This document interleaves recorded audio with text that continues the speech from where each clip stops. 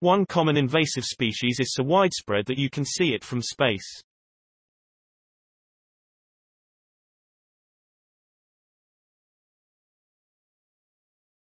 The University of Cincinnati found that satellite imagery can identify non-native and invasive Amur honeysuckle, an ornamental shrub introduced from Asia that has spread in forests across much of the United States.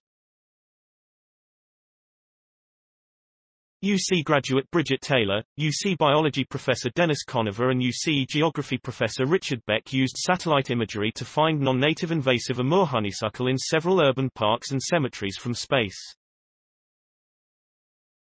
Using one of the satellites in a series of Earth-observing missions jointly managed by NASA and the U.S. Geological Survey, the Landsat-8 satellite can measure the reflection of wavelength energy in the red and near-infrared bands. The ratio of the two wavelengths helps scientists identify foliage of different plants from orbit. UC found that the method was effective in detecting Amur honeysuckle, according to a study published in the journal Ecological Restoration.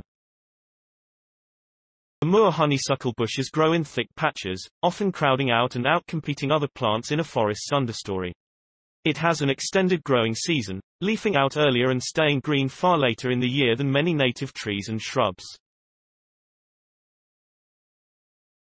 The fact that it was possible to use the satellite imagery in an urban setting was pretty unique, said Taylor, the study's lead author.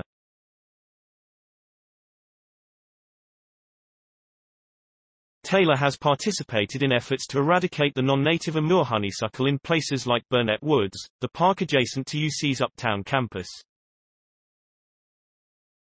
Please support my channel to grow by pressing subscribe button and the bell icon. We will notify you new tech videos.